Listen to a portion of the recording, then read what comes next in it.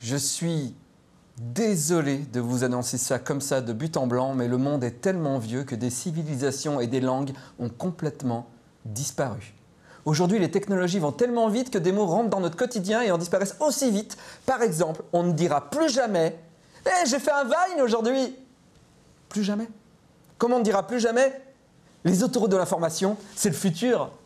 J'ai trouvé un super site de GIF sur AltaVista via Netscape. Ou un Aduram sur mon 56K.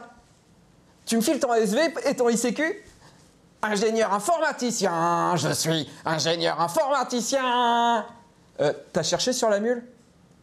Ils ont de super fonds d'écran en 800-600. Hier, j'ai pécho une meuf dans un salon sur Caramel.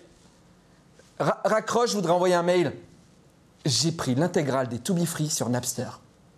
Eh bien oui, si des gens parlent le grec ancien, il y a des gens qui, dès aujourd'hui, parlent déjà le geek ancien.